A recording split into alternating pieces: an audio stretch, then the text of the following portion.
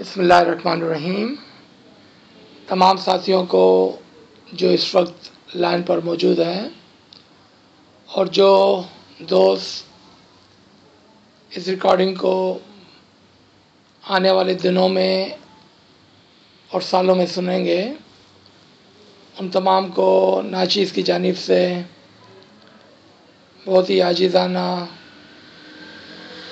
या अली मदद की दुआ और खैर खाई की दुआ कबूल हो। आज का हम ये सेशन मौला के मुबारक नाम से शुरू करते हैं। नूर मौलाना शाह करीम हुसैनी, हाजिर इमाम हाजिर इमाम, या आल नबी, औलाद अली, या नूर मौलाना शाह करीम हुसैनी, हाजिर इमाम। या नूरन अल्लाह नूर, या इमाम ज़मान, या मौलाए मेहरबान, हमें तौफीक, ताहीद, हिम्मत व यारी नायत फरमा मौला, कि हम तेरे सालगिरह के मौके पर, तेरे हजूर में कुछ फ़कीर साई सही, लेकिन इल्मी तोहफ़ा पेश कर सके मौला। या मौला, जब बादशाहों का बर्थडे आता है तो लोग कीमती कीमती तवाइफ लेकर उनके हुजूर में हाजिर हो जाते हैं मौला। लेकिन तू मौला हमारी गरीबी तो देख कि हमारे पास तुझे देने के लिए कुछ भी नहीं मौला।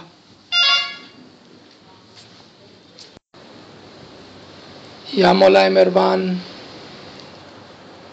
बस हमारी इस आजीजाना कोशिशों को अपने हजूर में एक तोहफे की तरह कबूल फरमाते हुए मकबूल फरमाना मौला और उसको पसंद करना मौला। या मौला मेहरबान, या मौला मेहरबान, या नूर मौलाना शाह करीम हुसैनी हाजिर इमाम। आज के इस मुबारक दिन हम मौला की सालगिरह के मौके पर दोस्तों के साथ मिलकर कुछ इल्मी जस्तजू करना चाहते हैं। कुछ नुकात जो पहले हम जहन नशीन कर लें, ताकि जैसे जैसे हम आगे बढ़ें तो उनको समझते हुए इन आगे बढ़ेंगे। जैसा कि एक इमाम का बर्थडे और एक आम इंसान का जन्मदिन। उसमें क्या फ़र्क है? उसमें क्या फ़र्क है? जब एक इंसान का जन्मदिन होता है बर्थडे होता है, चाहे वो हमारे रिश्तेदार में से हो, हमारे दोस्तों में से हो, और जब हम उसका बर्थडे मनाने जाते हैं। तो हम इस तरह समझते हैं कि चूँकि वो हमारे सामने एक ज़िंदा हस्ती की तरह खड़ा होता है तो हमें लगता है कि वो ज़िंदा है और उसका इस दुनिया में जन्म हुआ है। तो हम उसका बर्थडे सेलिब्रेट करते हैं।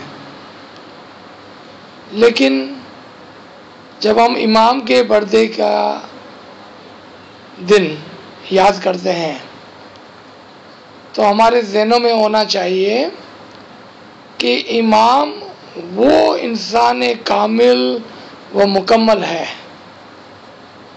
जो हकीकी मायनों में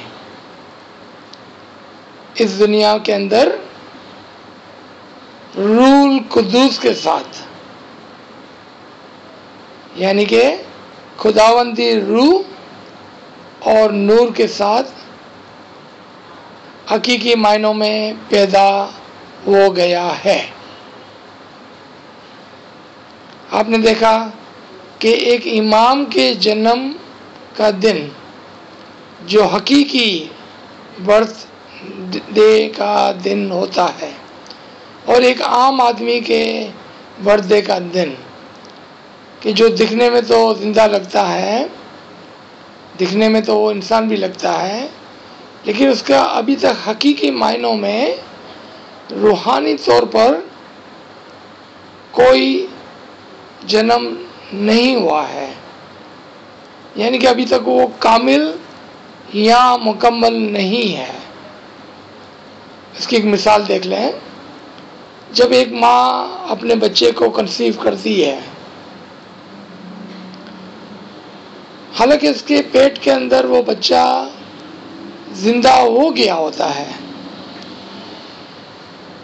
लेकिन हम कभी भी उसके उस दिन को नहीं गिनते हैं और ना ही उसके उस दिन के ऊपर उसका कोई बर्थडे सेलिब्रेट करते हैं।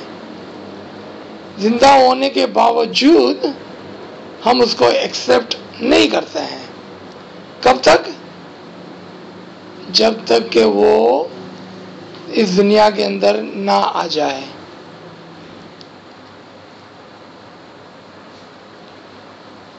जबकि वो दुनिया में पैदा हो जाता है तो हम उसकी तारीख को, उसके वक्त को लिख लेते हैं और हम उसको सेलिब्रेट करते हैं एवरी ईयर लेकिन अगर कोई मोमिन शख्स हो कोई मोमिन शख्स हो। और जब वो इमाम के जन्म का दिन मनाता है या उसके बारे में सोचता है तो वो जानता है कि ये दिन, यानी कि तेरह दिसंबर का दिन, एक बहुत ही खास दिन है। क्यों? कि इस दिन में खुदावन ताला का वो वादा जो बार बार खुदावन ताला ने कुरान में फरमाया है और उसके इशारे हमारे गिनानों में भी मिलते हैं, मौला के फरामीन में भी मिलते हैं दीन की किताबों में भी मिलते हैं और हमारे मज़हब की रिवायत में भी मिलते हैं। दूसरा नुकता। हमने 13 दिसंबर 2020 को इमाम का बर्थडे मनाया। फिर 14 तारीख को क्या? फिर हम भूल गए भूल गए भूल गए। फिर एक साल गुजर जाएगा। फिर हमारा शूर जागेगा। फिर हमें याद आएगा कि हमारे मौला का जन्मदिन है। हम दोबारा से अच्छे कपड़े, अच्छी नांदी, खुश होकर हम जमात खाने पहुँच जाएँगे। डांडिया खेलेंगे, म्यूज़िक बजाएँगे। वापस चौदह तारीख आएँगी, हम भूल जाएँगे। हकीकी मोमिन इस तरह से इसको नहीं देखता है। क्योंकि वो इमाम के जन्म को एक निशानी और एक बहुत ही बड़ा बरकत का दिन समझता है। और ये एक दिन की बरकत तीन सौ पैंसठ दिन तक, यानी कि एवरी सिंगल डे उसके साथ रहती है और चलती है। यहाँ ठहर कर, खुद अपने आप को आप सवाल करें। ना तो मुझे बताने की ज़रूरत है, ना किसी और को बताने की ज़रूरत है। जब दिसंबर फ़र्स्ट आया तो हमको याद आया कि अभी वन वीक टू वीक्स में मुला का बर्थडे आएगा नवंबर में आपने कितनी मरतबा सोचा है इमाम के बर्थडे का? और फिर दूसरा सवाल पूछे, चौदह तारीख के बाद हमने कितनी मरतबा इमाम के दिन को, इमाम के बर्थडे को, या उसकी तरफ़ कोई तवज्जो दी? खुद अपने आप से पूछे, किसी को बताने की ज़रूरत नहीं है। क्योंकि ये बाबरकत दिन एक मोमिन की ज़िंदगी में बुशारत गुड टाइडिंग्स और बरकत ब्लेसिंग के साथ आती है। और इसी दिन हर हर उस मरतबा, जब जब एक नए जामे का, एक नए इमाम का दुनिया में जन्म होता है। खुदावन ताला का प्रॉमिस वादा तमाम के लिए नहीं मोमिन व मुतकीन के लिए एक बार दोबारा से पूरा होता है और हम उस दिन को खुशहाली मनाते हैं। क्या कहते हुए?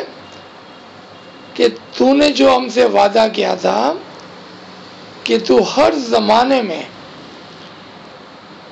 चाहे वो कौन सा भी साल हो, चाहे वो कौन सा भी मौसम हो, चाहे दुनिया का कौन सा भी हिस्सा हो, चाहे वो गर्मी हो, सर्दी हो, वो हमको एक इमाम की बुशारत, व बरक़ात हमारी तरफ़ अपने वादे के मुताबिक बेचता रहता है। अब आप इमाम के फरामिन को देखें। इमाम क्या फरमाते हैं? कि मेरी ज़िंदगी में जमात की तरक्की और बेनिफिट के अलावा कोई भी और इम्पोर्टेंट काम नहीं है। मौला ये फरमाते हैं कि मेरी ज़िंदगी में, पूरी ज़िंदगी की बात हो रही है, कोई भी दिन, कोई भी वक्त, या कोई भी बात, कोई भी मैटर, ऐसा नहीं है जो इम्पोर्टेंट हो अनलेस के उसका ताल्लुक जमात की, मोमिनों के बेनिफिट में हो, उनकी तरक्की के लिए हो। वो 24 घंटा हमारे लिए इस बात को सोचता रहता है। अगर वो इस तरह करता है तो हमारा क्या काम होना चाहिए? जो सवाल पूछा गया था कि हमने कब मौला के सालगिरह के बारे में सोचा, ये बात दोबारा से हम पूछते हैं। What should be our role हमारा सोचने का तरीका क्या होना चाहिए? क्या हमने अपनी पूरी ज़िंदगी इमाम ही के लिए वक्फ की हुई है? जिस तरह से इमाम ने हमारे लिए की है। अगर हम कहते हैं, नहीं, इमाम ने तो की है, लेकिन हमारे पास तो बहुत ही ज़्यादा इम्पोर्टेंट काम है। मौला फरमाते मेरे पास कोई भी इम्पोर्टेंट काम नहीं है। मेरी जमात की तरक्की के अलावा। लेकिन हम कहते नहीं, हमारे पास तो बहुत ही इम्पोर्टेंट काम है।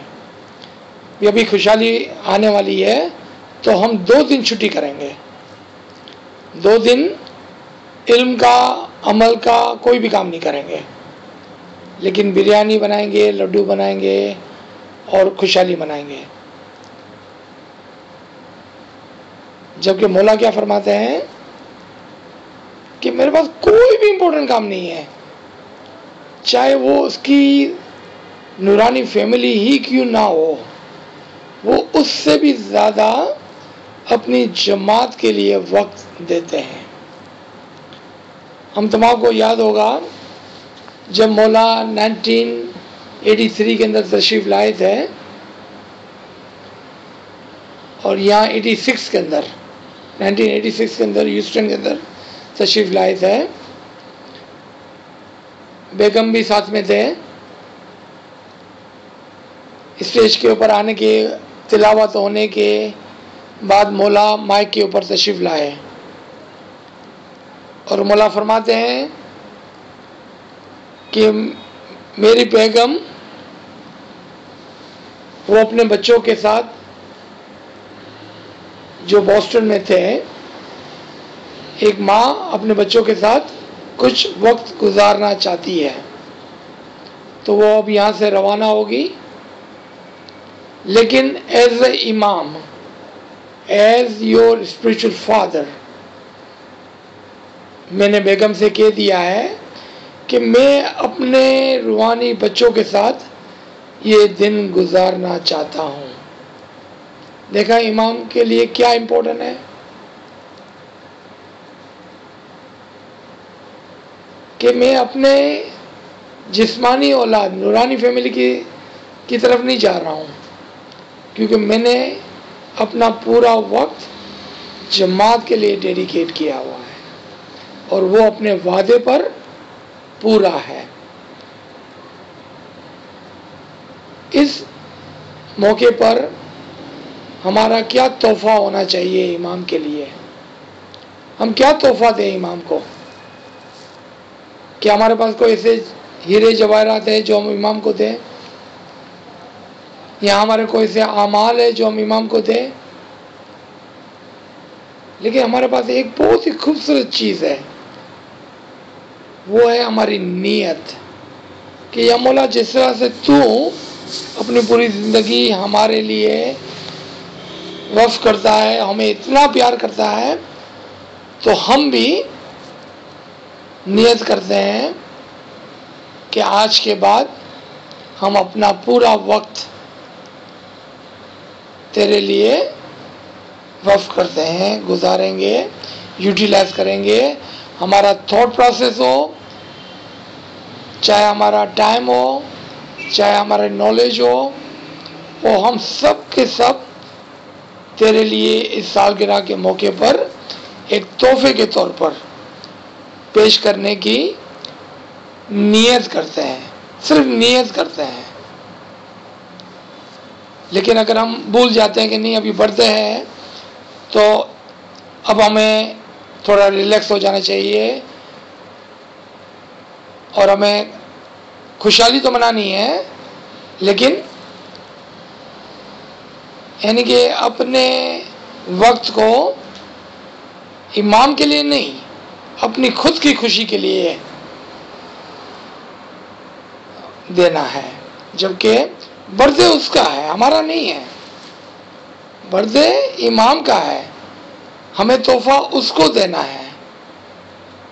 हम किसको तोहफा दे रहे हैं? उसको तोहफा दे रहे हैं कि अपने आप के लिए तोहफा तैयार कर रहे हैं। ज़ाती सवाल है ये। एक पर्सनल थॉट है। इंडिविजुअली हमको ये सोचना होगा। अच्छा आप आ जाए नुक्ते नंबर तीन पर। कि एक इमाम है, उसके बहुत सारे बेटे हो सकते हैं, बेटियाँ हो सकती है। लेकिन आपने नोट किया कि हम इमाम के किसी भी बच्चे का, किसी भी बेटा बेटी का यहाँ तक कि आने वाले इमाम का भी बर्थडे हम नहीं मनाते हैं। कब तक? जब तक कि वो इमाम ना बन जाए। जब वो इमाम बन जाता है तो वहाँ से हम उसका बर्थडे, उसकी सालगिरह मुबारक बनाने लगते हैं। क्यों भाई? पहले क्यों नहीं? कोई इमाम अगर 20 साल 25 साल में इमाम बनता है तो हमने 25 साल तक उसको इग्नोर किया। इसके बाद जब वो इमाम बन गया तो हमने उसकी सालगिरह का दिन बनाने लगे। यानी कि पहले हम नवंबर सेकंड को सालगिरह बनाते थे। अब हम थर्टीन दिसंबर को सालगिरह बनाते हैं। क्यों ऐसा? क्योंकि एक ही दुनिया के अंदर हकीकी मायनों में जन्म लेने वाला इंसान कामिल मुकम्मल है। कि जिसका बर्थडे बनाना वर्ष है नेसेसरी है रिक्वायरमेंट है। क्योंकि इस दिन खुदावन ताला का वादा मोमिनों और मुतकीन के लिए, परहेजगारों के लिए पूरा होता है। और यह कहते हैं हम कि या खुदा कि तूने चूँकि अपना वादा पूरा किया है तो हम इस बरक़ात के बदले में, इस बरक़ात की वजह से, हम इस दिन को याद करके सेलिब्रेट करते हैं। उसके अंदर हमारा शुक्राना भी है। यानी कि हमारा थैंक यू भी है। हमारी एक्नॉलेजमेंट भी है कि हम उसको एक्सेप्ट करते हैं। कि हमने देखा और हमने समझा। कि आज तेरा वादा पूरा हुआ। और हम बार बार इस दिन को सेलिब्रेट करते हैं। लेकिन ये सेलिब्रेशन एक दिन का नहीं हो सकता है। एक दिन का नहीं हो सकता है। क्योंकि खुदा ने अपना वादा हमारे लिए, हमारी पूरी ज़िंदगी के लिए, हर एक दिन के लिए पूरा किया है। अब आप कहेंगे, भाई, अब रोज़ाना तो हम अच्छे कपड़े पहनकर, नांदी लेकर, बिरयानी बनाकर जमा से नहीं जा सकते हैं। तो फिर हमें अपने आप से सवाल पूछना होगा कि क्या हम इमाम का ज़ाहरी जन्म का बर्थडे बनाते हैं, जबकि हमारा मज़हब बात ही नहीं है? या हम उसके नूर के जन्म का बर्थडे मनाते हैं। वो हमारे लिए एक सवाल होगा। अगर आपका जवाब ये है कि इमाम के ज़ाहरी बर्थडे के साथ साथ ज़ाहरी बर्थडे की भी इम्पोर्टेंस है, लेकिन उसके साथ साथ हम उस नूर का जन्म, यानी कि जो नूरन अल्लाह नूर के वादे के मुताबिक प्रिंसिपल के मुताबिक इस दुनिया में आया था, उसका भी हम सेलिब्रेट करते हैं, उस रहमत का शुक्र अदा करना चाहते हैं। और अगर ये बातिनी मज़हब की कोई क्रिया है, अगर जारी शरीयती मज़हब की कोई क्रिया है तो फिर हमें कुछ बदलने की ज़रूरत नहीं है, जिस तरह हम कर रहे हैं, वो बिल्कुल ठीक है, हमें और कुछ करने की ज़रूरत नहीं है। We are perfectly fine in our celebration which is very very very physical सिर्फ़ जिस्मानी जिस्मानी और जिस्मानी है। लेकिन अगर आप अपने बातीन के मज़हब के ऊपर तवज्जो देते हैं तो फिर आपको कहना पड़ेगा कि अब ना तो मुझे बिरयानी की ज़रूरत है ना मुझे नादी की ज़रूरत है, ना मुझे अच्छे कपड़े की ज़रूरत है। यहाँ पर सिर्फ़ किस बात की ज़रूरत है? नीयत की ज़रूरत है। कि जिस तरह से इमाम ने अपनी पूरी ज़िंदगी वफ़ की है, डेडिकेट की है, हम भी अपना रोज़ एवरी सिंगल डे इमाम के लिए एक तोहफे की तरह as a gift as a शुक्रगुजारी टू बी थैंकफुल हम अपना रोज़ाना एक तोहफ़ा, रोज़ाना उठकर इमाम को एक तोहफ़ा पेश करेंगे। उसके नूर के जन्म के लिए। क्योंकि अगर उसका नूर इस दुनिया में ना हो तो ना तो कोई रोशनी होगी और ना ही कोई हिदायत। यहाँ पर इस ज़ाहरी रोशनी की बात नहीं हो रही है। ना तो कोई नूर होगा और ना ही कोई गाइडेंस तो क्यों ना हम इस नूर की और इस हिदायत की रोज़ाना कदरदानी करें, उसको अप्रिशिएट करें on every single day of our life बल्कि हर रोज़, पिछले रोज़ से ज़्यादा। यानी कि आज जितना हम उसको सेलिब्रेट कर रहे हैं, कल और ज़्यादा करेंगे। चौदह तारीख को ज़्यादा और पंद्रह तारीख को उससे भी ज़्यादा। On and on on and on हम उसकी कदरदानी, उसकी शुक्रगुजारी और उसमें आपको ना तो कोई पैसा खर्च होता है, ना ही आपको नए कपड़े की ज़रूरत है, ना ही आपको बिरयानी की ज़रूरत है, ना ही और कुछ ज़रूरत है। ज़ाहरी खुशहाली अपनी जगह पर एक मकाम रखती है। लेकिन ज़ाहरी खुशहाली जो है, वो टेम्प्ररी है और वो एक दिन में ख़त्म हो जाती है। जबकि हमें ऐसी खुशहाली की तरफ़ तवज्जो देनी चाहिए जो बातिनी है और जो परमिनेंट है। जो पर मिनट है। एक अक्लमंद इंसान कभी भी कोई टेम्पररी चीज़ के पीछे नहीं भागता है। वो हमेशा मुकम्मल और परमानेंट चीज़ का ख्याल करता है। वो अक्लमंद इंसान कहलाता है। हमारे लिए सोचने का मौका है। आए हम पहले गिनान से खाली इतने छोटे पार्ट को लेते हैं कि जहाँ पर पीर फरमाते हैं कि वो ज़ाहिर भी है, वो बातिन भी है, वो अव्वल भी है और वो आखिर भी है। और सुरह हदीस 57 आयत नंबर तीन में भी खुदावन ताला ने यही फरमाया कि मैं अव्वल भी हूँ, मैं आखिर भी हूँ, मैं ज़ाहिर भी हूँ और मैं बातिन भी हूँ। यानी कि तमाम जो दायरे से, तमाम जो एस्पेक्ट्स है, वो इस चार चीज़ों के अंदर आ जाते हैं। यानी कि कोई भी चीज़ इससे बाहर नहीं है अब। अगर वो अव्वल भी है और आखिर भी है तो from the beginning until the end सब चीज़ को कवर कर लिया, हर ज़माने को कवर कर लिया, हर वक्त को कवर कर लिया।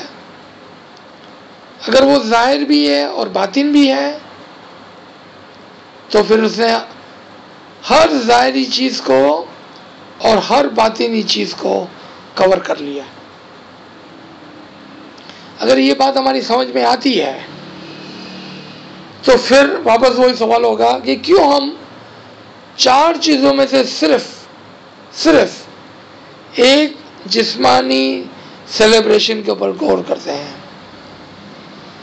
जबकि मौलाना के चार, यानी कि मानी खेस, हर तरह से घेरे हुए इनकम्पस करते हुए एट्रीब्यूशन है कि वो अव्वल भी है। यानी कि कोई भी दिन ऐसा नहीं होता है कि जब हम इमाम की खुशी में, इमाम के नूर की रहमत से हम अलग हैं। यानी अव्वल से है और आखिर तक है। अब कौन सा दिन है जब हम उसके खुशी में, उसकी सालगिरह में शामिल नहीं हो गए? यानी कि it's not a temporary one day event but it's all and all हर रोज़ उसकी रहमत और उसके नूर का ज़रूर होता रहता है। ज़रूर मैनिफेस्टेशन को कहते हैं कि उसका डेली एवरी सिंगल डे एक मैनिफेस्टेशन होता है। तो फिर हम क्यों इस रहमत को, इस खुशहाली को सिर्फ़ एक दिन मनाकर छोड़ दें? क्यों हमारा 364 डेज़ का नुकसान करते हैं। ये अक्लमंदी नहीं है। ये अक्लमंदी नहीं है। तो ये पहला रेफरेंस अब देखिए खुदा ताला ने कुरान के अंदर कहाँ वादा किया है कि इमाम हर हमेशा रोज़ अव्वल से क़्यामत तक इस दुनिया में हाजिर और मौजूद होगा। तो अब आए सूरा नंबर सत्रह, आयत नंबर सेवेंटी वन पर। कि खुदावन ताला हर ज़माने के लोगों को उनके साथ बुलाएगा। यानी कि उस रोज़, क़्यामत के दिन, हमारे मरने के दिन, चाहे वो कोई भी ज़माना हो, अव्वल से लेकर आखिर तक उस दिन वो अपने इमाम की तवसत से बुलाए जाएँगे। अगर इमाम नहीं है इस दुनिया में, या अगर कोई कहता है, भाई, इमाम तो सिर्फ़ मौला अली से आगे है, उससे पहले इमाम नहीं थे। तो फिर दोबारा हमारे अकूल को चैलेंज करना पड़ेगा कि खुदा का ये जो वादा है कि हर ज़माने के लोगों को उसके इमाम के साथ बुलाया जाएगा तो उससे पहले किसके साथ बुलाते थे? जो लोग मुलाजी अली से पहले गुजर गए वो कौन से इमाम के साथ जाते थे? ये खुदा का वादा है कुरान में। तो ये दूसरा वादा हो गया। पहला वादा क्या था? कि वो अव्वल से आखिर तक होगा। दूसरा वादा, हर ज़माने में होगा और उसी के साथ हम क़्यामत के रोज़, यानी कि जब हमारी मौत आएँगी, वही हमारा क़्यामत का दिन है। उस दिन हम इमाम के साथ बुलाए जाएँगे। आए तीसरे वादे के ऊपर। कि खुदा तला फरमाते हैं कि ना सिर्फ़ दुनिया के अंदर मेरा नूर होगा, बल्कि मैं वादा करता हूँ कि मैं उसको मुकम्मल करके मोस्ट परफेक्ट करके छोड़ूँगा। चाहे लोगों को कितना ही बुरा क्यों ना लगे। लोगों से मुराद यहाँ पर जो उसको नहीं मानते हैं, काफिर हैं। जो उससे मुनकरीन है। यानी कि जो इमाम को रिजेक्ट करते हैं। क्योंकि उनको पसंद नहीं आता है जब हम इमाम को हर रोज़, हर ज़माने में हाजिर और मौजूद पाते हैं। उनको अच्छा नहीं लगता है। तो खुदा क्या बोलता है? चाहे उनको कितना भी बुरा क्यों ना लगे। मैं अपना नूर इमाम के अंदर पूरा करके छोड़ूँगा। अब आप देखें इसको, ये सूरा नंबर नौ, सूरा तोबा, आयत नंबर बत्तीस है। कि कुछ लोग हैं जो अपनी मुँह की फूंकों से, मुँह की फूके, फॉल्स आर्ग्यूमेंट बेकार की बातें, बेकार की दलीलें फॉल्स आर्ग्यूमेंट जिसको हम इंग्लिश में कहते हैं। अपने मुँह की फूकों से इमाम के नूर को बुझाना चाहते हैं, जो खुदा तला ने इस दुनिया के अंदर रखा है।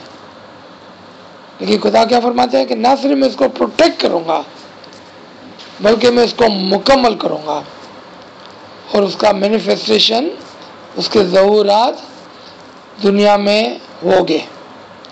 चाहे लोगों को पसंद आए या ना आए। मोमिन जब इमाम को देखते हैं तो उनकी आँखों के अंदर नूर की रोशनी आती है। उनके दिलों के अंदर खुशी पैदा होती है। उनकी अकुल रोशन हो जाती है। मोहसिन ने आज़म को देखा। मोहसिन आज़म, इनके सबसे बड़ा फेवर करने वाला। मोहसिन आज़म को देखा।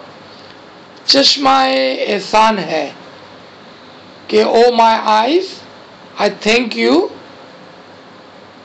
that I was able to see my creator my lord my imam who is the best who would do the favour for us उस फेवर करने में सबसे बेहतरीन है। मोहसिन ने आज़म को देखा। आरिफ कामिल ज़मान क्या फरमाते हैं? मोहसिन ने आज़म को देखा चश्मा एहसान है, घर का बेरे करम को। घर का बेरे करम? घर का ड्राउन को कहते हैं। किसी चीज़ में ड्राउन हो जाना। जिस तरह से समंदर के पानी में को आदमी डुबकी मार दे ड्राउन हो जाता है। घर का है, बेरे करम। लेकिन ये दरिया जो है, बहर, दरिया, वो करम का है ब्लेसिंग का है। कि मैं उसकी ब्लेसिंग के दरिया में डूबा हुआ हूँ।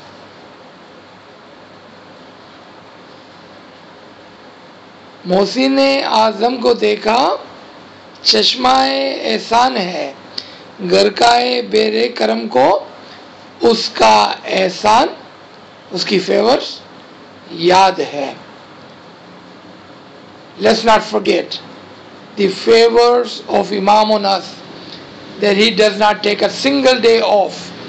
Then why are we taking a day or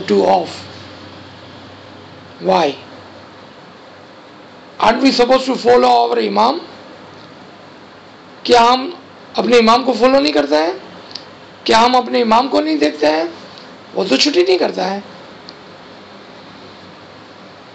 वो तो नहीं कहता है कि आज मैं दो दिन छुट्टी करूँगा और जमात का काम नहीं करूँगा। वो कहता है, मेरी हर मिनट हर सेकंड जमात के लिए कुर्बान है डेडिकेटेड है।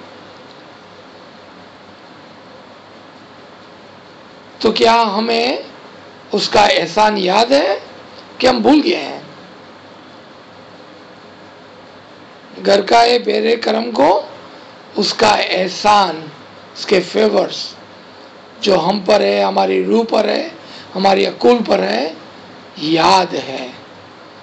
अगर हमें याद है तो फिर कौन सा दिन होगा साल का कि जब हम उसके जन्मदिन को नहीं बनाएँगे उसको याद नहीं करेंगे और उसके हुजूर में मेहमानी पेश नहीं करेंगे। नियत नहीं करेंगे अच्छा तोहफा देने की। So why don't we get together and एक नियत करें। डिसाइड करें हम आज। इंटेंशन क्या इंटेंशन होगा? कि या मौला, आज के बाद मैं तुझे कभी भी नहीं भूलूँगा और तेरे जन्मदिन को रोज़ाना याद करूँगा। और रोज़ाना तेरे हजूर में, तेरे बर्थडे के लिए एक इल्मी और अमली टाइम एंड नॉलेज का नजराना पेश करूँगा। एवरी सिंगल डे जिस तरह से तू हमारा ख्याल करता है और नहीं भूलता है, हम भी तुझे नहीं भूलेंगे। हम भी तुझे नहीं भूलेंगे। तो ये तीसरा वादा। अब आखिरी और सबसे बड़ा जो वादा है, कुरान के अंदर इमाम का, के लिए और मोमिनों के लिए है, वो है कुलिया है नूरन अल्लाह नूर। The principle of light upon light अगर आज हमसे कोई पूछे कि आपके इमाम का सबसे बड़ा माजिजा क्या है if someone has What is the largest, biggest, everlasting, permanent miracle of your Imam?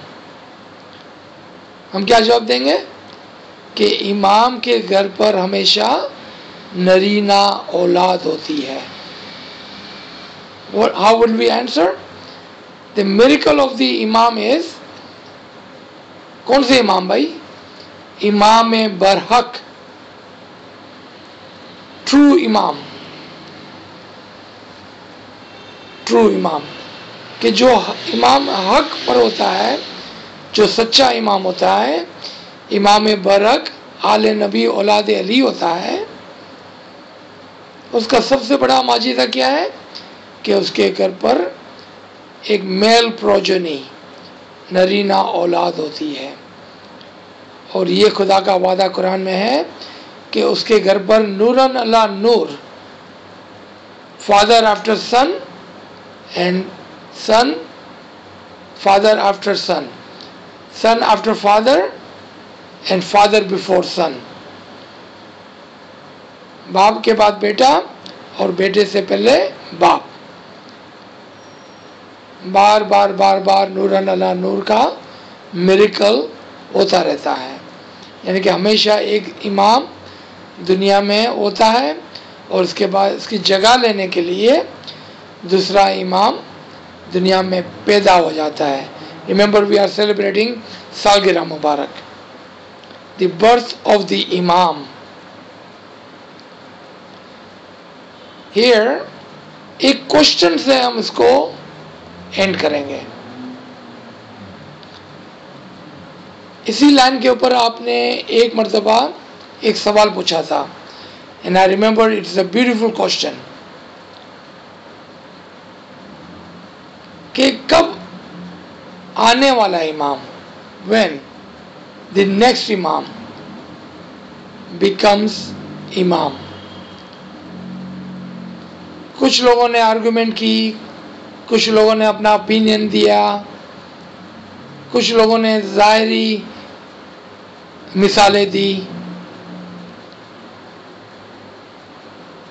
लेकिन वो इमाम का बेटा जो आने वाला इमाम होता है, हम कह सकते हैं just for the sake of argument they from the day he is born, यानी कि वो जन्म से ही इमाम होता है।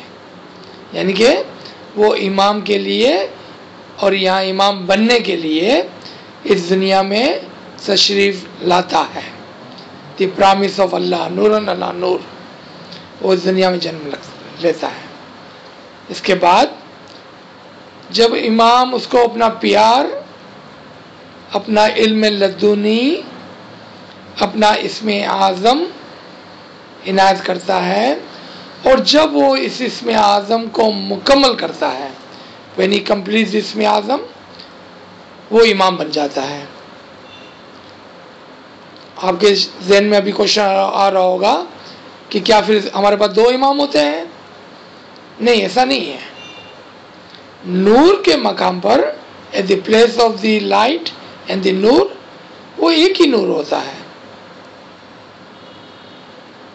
वो इमाम मुकम्मल होकर, तैयार होकर अपनी जगह पर खड़ा होता है। और मैं आपको अभी मिसाल दूँगा तो आप समझ जाएँगे। लेकिन जब तक उसको करंट इमाम, हाजिर इमाम अपना अमर नहीं देते हैं, तब तक वो इमाम का दावा या इमामत का दावा नहीं करता है। Meaning he does not announce his इमामत until कि करंट इमाम उसको अपना अमर ना दे दे देखा आपने? What is example of that तो पहले हम अमेरिकन हिस्ट्री से इस एग्ज़ाम्पल को देखते हैं। आज हमारे पास एक प्रेसिडेंट है और एक प्रेसिडेंट इलेक्ट है। दो प्रेसिडेंट नहीं है, एक ही प्रेसिडेंट है। जब वो प्रेसिडेंट बन जाएगा तो ये प्रेसिडेंट खत्म हो जाएगा। एक ही प्रेसिडेंट है ना? दो नहीं है। जब तक वो सोयरिन नहीं होता है अपना एद नहीं लेता है, तब तक वो प्रेसिडेंट नहीं बनता है। लेकिन आज हम उसको प्रेसिडेंट इलेक्ट कहते हैं ना, ये एक दुनिया की मिसाल है। इसी तरह से इमाम के अंदर, यानी कि आने वाले इमाम के अंदर, उसका नूर मुकम्मल हो जाता है। और चूँकि नूर बातिन की चीज़ है, ज़ाहिर चीज़ नहीं है कि एक में है तो दूसरे नहीं है, कि उस इमाम से निकल के इधर आ गया अब वो पिछला इमाम खाली हो गया। इज़ नॉट लाइक दैट नूर ओमनी प्रेजेंट। यानी कि हर जाए जाई है। वो प्रेजेंट इमाम में भी है और आने वाले इमाम के अंदर भी है। लेकिन वो अपनी इमामत का दावा नहीं करता अनटिल वेन जब तक के अमर ना मिल जाए। तो आप में से किसी वाइज पर्सन ने, यानी कि अक्लमंद शख्स ने, जो इस चीज़ पर तवज्जो दे रहा था he was paying attention to the knowledge not information please we have no information for any one on this line but if you are lover of the true knowledge of the imam Aziz Rajpari की बात नहीं हो रही है यहाँ पर। इमाम के इल्म की बात हो रही है। इमाम के इल्म के अंदर अगर आप तवज्जो देंगे तो ऐसे ऐसे खूबसूरत क्वेश्चन सामने आएँगे। और ये बहुत ही खूबसूरत क्वेश्चन था, क्योंकि उसकी वजह से तमाम सुनने वालों का आज और तमाम सुनने वालों का कल टुमारो फ़ायदा हो जाएगा। क्योंकि अब हमारे लिए ये कॉन्सेप्ट बिल्कुल क्लियर हो गया। क्या क्लियर हो गया? कि इमाम का वो बेटा नूरन अल्लाह नूर के कानून के मुताबिक इमाम के इश्क व इल्म, यानी कि इल्म लदूनी इमाम के इसमें आज़म और नूर के साथ वो तैयार हो जाता है। और फिर जब अमर मिलता है तो वो इमाम बनता है और इमामत का ऐलान करता है। इमामत का दावा करता है। क्लेम करता है। When? जब उसको अमर मिल जाता है।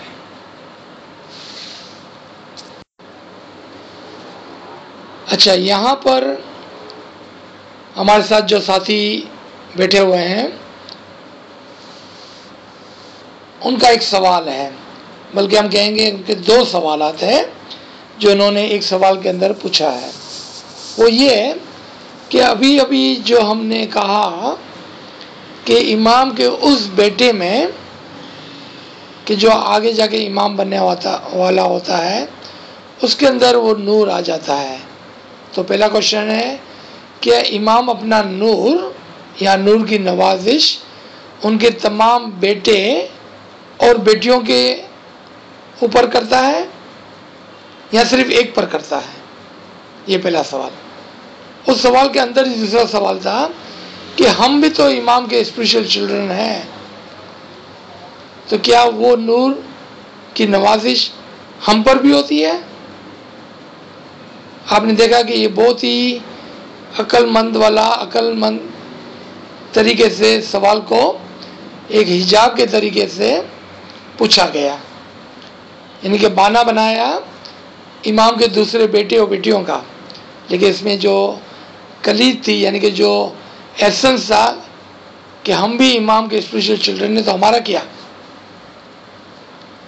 अगर हम इमाम को रहीम और करीम मानते हैं, और अगर हम कहते हैं कि इमाम की पूरी ज़िंदगी हमारे लिए है तो इस सवाल को आप दोबारा से देखें कि वो इमाम के अपने उस बेटे को नूर देता है जो इमाम बनने वाला होता है।